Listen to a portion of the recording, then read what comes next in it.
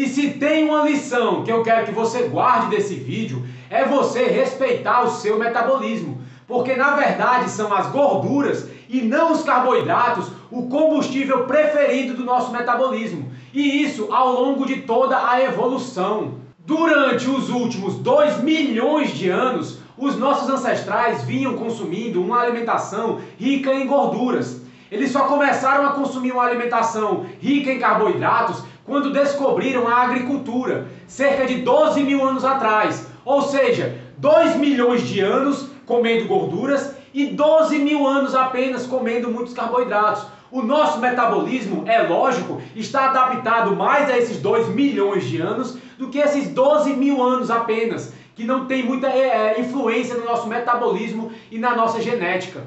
Nós ainda temos o mesmo genoma dos nossos ancestrais, que viveram 2 milhões de anos consumindo alimentos ricos em gorduras.